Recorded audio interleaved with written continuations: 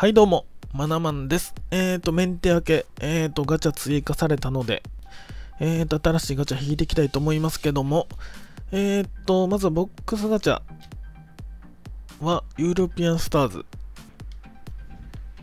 えーと、ラインナップはこんな感じで、グリーズマンが最高で、一応黒玉が30人かな、いるやつで、こっちの課金で引ける、これは1人ずつかな、多分100円、100円っていうか100コインで。のやつは黒玉でも10%なんですが、ラインナップがすごいっていうね。まあ、このガチャで黒玉を揃えたらかなり強いチーム。まあ、自分絶対このカンテとかムバッペ絶対欲しいけどな。このガチャは結構課金税はこっちやるんちゃうかなっていうところですね。うん、でも、一応来週ね、CL 来るかもしれないっていう勝手な予想なんですけども、まあ、そのために、まあ、GP を貯めといてやら方がいいかもねっていうところで、さあ、注目選手ガチャ、ナショナル、国ですね、国で活躍した選手の、えー、と FP 初登場ってことで、えーと、ケイン、エリクセン、ラモス、ワイナルドゥム、ベルナルド・シューバとかいますけど、まあ、欲しいとこはどこなんだろうね。こっちの方が見やすいか。うん、まあ、ラモス、ワイナルドムあたりがあたりかな。ケインどうなんだろう。まあ、自分レバンドフスキーいるからな。でも、コンワン7だし。まあ、エリクセンも7だしね。まあ、やっぱり上位の選手はやっぱ当たりですかね。あとこのライマーっていう選手が一応レベル38まで上がるので、まあ、どこまで能力伸びるかですけどね。まあまあ、でも使える選手ではないかなっていうところで。そうですね、ベロッティも強そうではある。さあ、では、3回、こっちのガチャは3回、引きたいと思います。FP ガチャを。まあ、即戦力ですからね。いきます。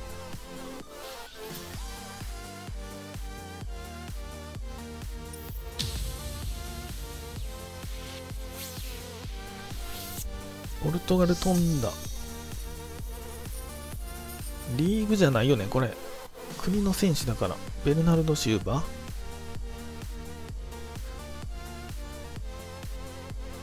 てことですよね。多分そうだよね。これは国に飛ぶって感じかな。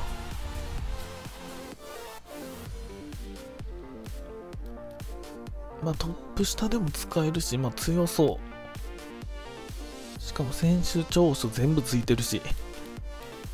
かなり強いよね。コマ7だ。ケーオッケー。いいですね。さあ、2回目。まあ、かぶってもレベル上げに使えるし。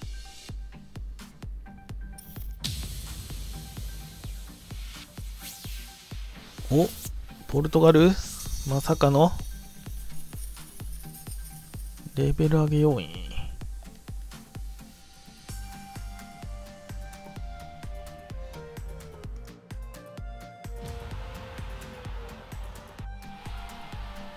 正直なとこかぶってほしくない。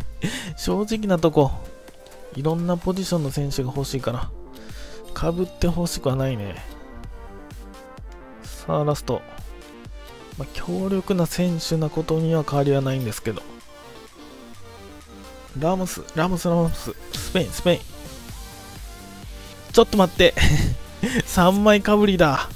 多分。まさかの3枚かぶりスタート、今年の FP ガチャ。いやー、これどうなんだ。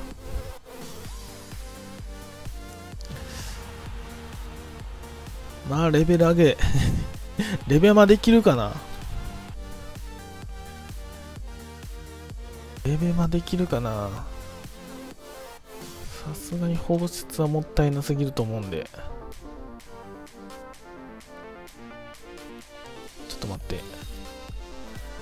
さかの3枚かぶり。今年の 今年の FP3 枚かぶりスタート。とりあえず2人、やっぱ育成、ちょっと1人、1回1人だけ。1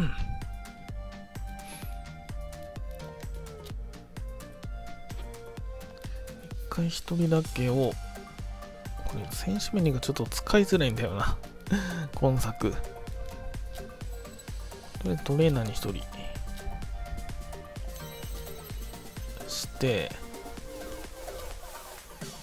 1人はロックしといて、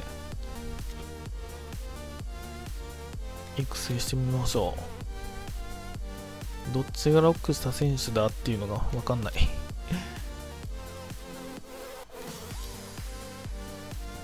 さあ、ちょっと5000しか使わへんけど、どうなるか、爆発するか。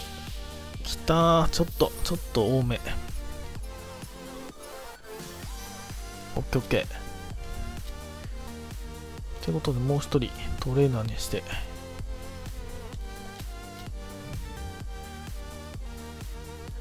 大爆発では多分ないと思うんだよね。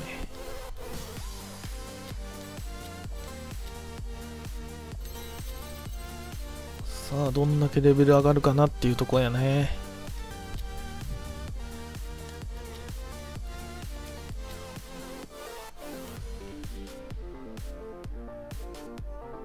行きやす。さあ、どうだ？うおー、これは大成功ちゃう。2万9000。